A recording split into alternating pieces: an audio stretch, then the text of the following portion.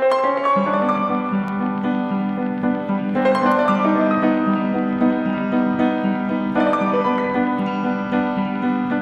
松さん異常に喧嘩っ早い人だいやいやいだって上司を殴るためにずっと空手の稽古してたそれ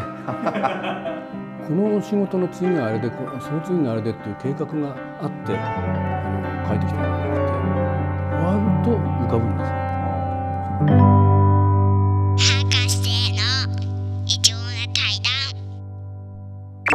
あの古舘さんがトーキングブルースを復活させてあの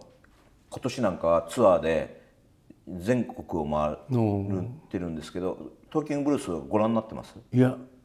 ほとんど古田さんの番組をこうクローズアップしたような時にあこんなこと今やってんだっていうふうに見るくらいでそうですか。この間伝承ホールっていうところでやったんですよ。それで何をやってるかっていうと実況実況講談、えーアントニオ猪木っていうのをやってるんですよ。もう新境地ですよ。めちゃめちゃ攻めてんなと思って。もうそうですね、ええ。すごいですよね、66歳でこの攻めの姿勢っていうか、新たにこの芸としての形を身につけようとしてるっていう、うん、すごいな。いやーだって「報道ステーション」で世田谷の一軒家を 50, 50軒買えるぐらいのギャラをもらったっていう。はあここが違うとこだね。ええ。そんな人はもうあれじゃないですか。引退してハワイで悠々自適に生きればいいじゃないですか。逆にだからこそそれがしゃ自分にとってもシャレになるっていうふうにシャレになるしその新しい自分の軸だっていうふうに思えるのかもしれないね。そのあのそういう巨万の富を、あのそれをあぶく銭と考えてね、まあ、だけど、うん。ここをチャラあのチャラにしてで今自分がやることあってこう向き合うこともできるいややっぱ僕はあれは猪木イズムだと思いますよ、猪木さんの生き方に見せられたから、ここにとどまることはできず、誰の挑戦でも受けでこうしかもあの地方を回っていくっていうのは地方巡業を自分がずっとプロレスに回ってたやつをもう一回再現してるっていう感じなんです。俺天皇の行幸みたいですねって僕は言ってるんですけど。偉いねそんなに偉くはないだろうって。まだまだ続くよ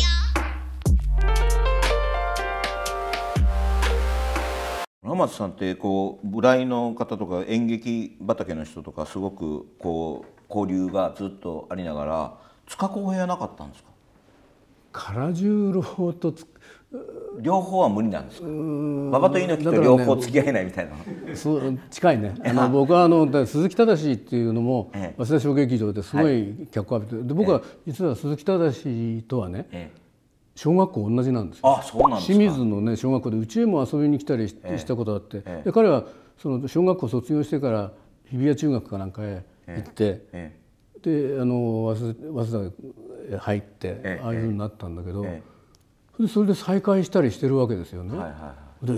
ーあの僕はそのす「ターちゃんターちゃん」って言ってたんでその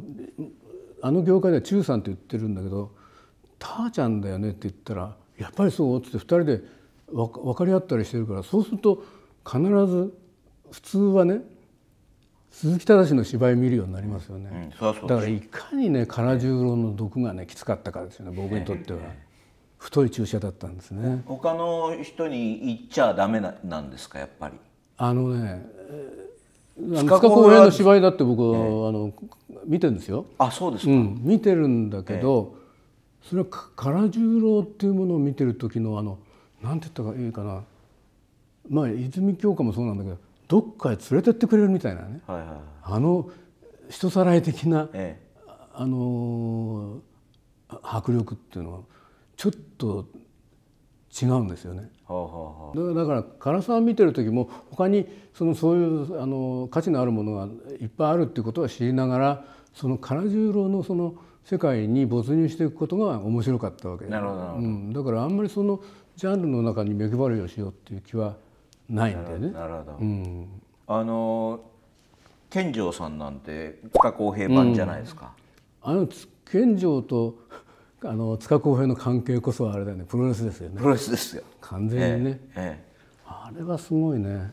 なんかこう嵐山幸三郎さんの本の中にも出てきますけど、水上勉さんの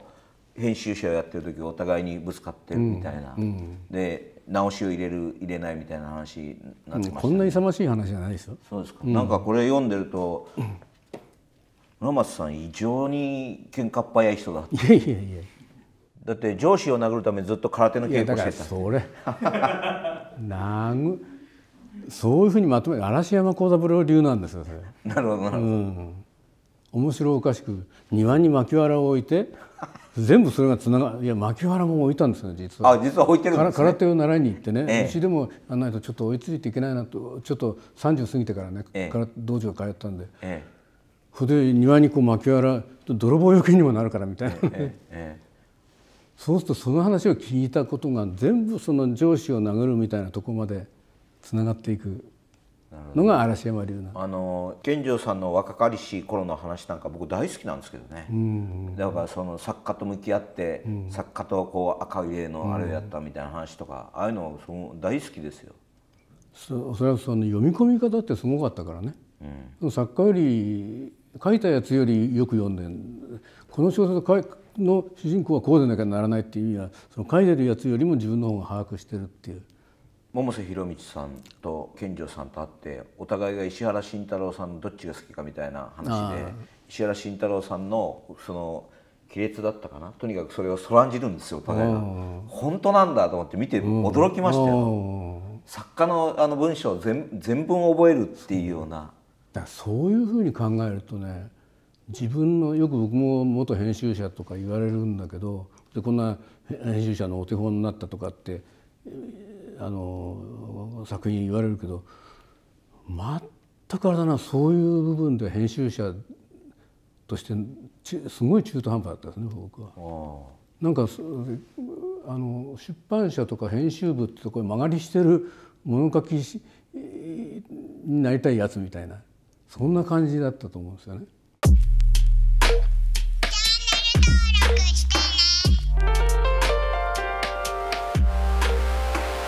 村松さん今後何か書きたい作品とかもう長く時間をかけるぞとかあるんですか？今ねちょっと自分のことを書いてるのがあって、ええ。それを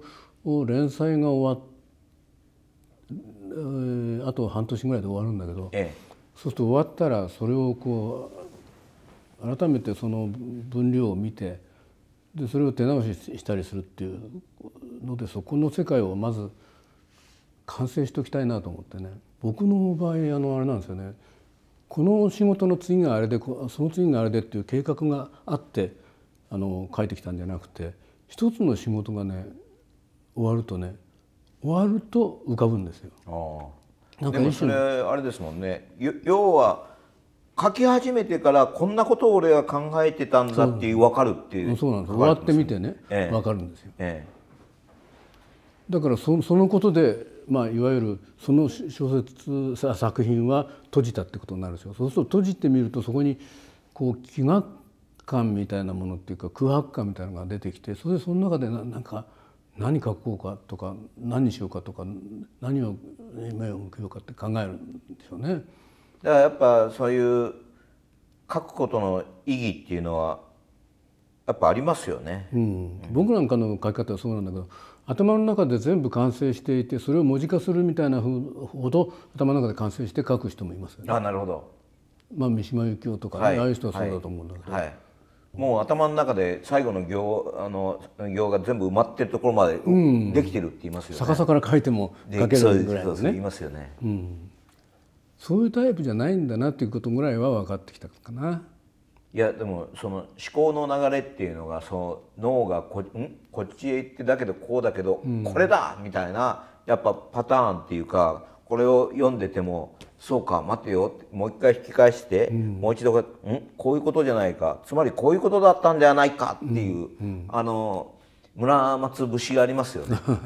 いや途中でこうそのあることに気がついてやっぱありの本当の凄さとか価値に気がついて、興奮するとかありますもんね、うんかりますうん、書きながらね、え書くということをやらなければそれと出会えなかったわけだえから、えだから自分が次に手がけることっていうのは浮かばないんだけどなんか僕脈々とねその編集者っていうのはねそのなんかその書き手を発見してその人にどういう方向でどういうふうな色合いで書いたらそその効果的なんだろうか魅力的なんだろうかっていうことを考える職業だったんで、えそれをやめたあのそ会社辞めると同時にそれも辞めちゃったっていうことがなんかどっかで不足感として残っててね。えた例えばね今猪木さんがあの病床にいてええ。で一番あの今年の初めの頃電話かかってきた時はえは横に寝てて こうほっぺたをそのう枕につけたような感じであの喋ってるから「エロゲロス」っていうのがもう その聞こえてこないくらいだった、いはいはいはい。でそれがだんだん声が澄んできて、えでこの間なんかねままだはっきり功績が戻らない頃だけどえピーコピーコ言っちゃってるもんだからって言うからな何ですかって言ったらそのき病院に入ってるでしょ、はい。でそこから出られないわけですよ。えで周りをきあの病院へき次から次へと救急車がこう来るわけそれはピピーコピーコっていうふうに。いやピーポピーポだ、ピーポピーポっていう。で猪木さんもなんかそのピーポピーポっていうのをすごくこだわってる。その音に音をそのピーポという言葉で捉えてる自分を面白がってるなと思ったもんだほど。僕はピーポの村っていうねえそのにいるんだと自分は。はいだからピーポの村っていうタイトルのええ。大長編集を書いたらどうですかって。言ったんですよ。えでそれ猪木さんそしたらそのその詩を口ずさみ始めちゃったりなんかしてるから まだ早いみたいな感じなんだけど、ええただその本当に気を許してますね。今今までの、あのなんて言ったらいいですかね出来事であれ今考えてることでもう錯綜しちゃってもいいからね、そのそれを長編女子誌みたいにはして呼ぶ気なんてあるじゃないですか。だから猪木っていうはいはいはい。はい。あでもたいですね。ねなんかね編集者としてそういうことをこう考えてると楽しいんだよね、と思うようなことはえまだ消えないんだよね。えええ。さあそろそろお時間が来てしまったので本日はここまでです。皆さん本日の動画を見てくださってありがとうございました、えチャンネル登録をまだの方はチャンネル登録よろしくお願いします。そして、えー、インスタグラムやツイッターなどもやっておりますので、そちらの方のフォローもよろしくお願いします。ではまた次回の動画でお会いしましょう。水戸橋博さんでした。さようなら。次回の回転は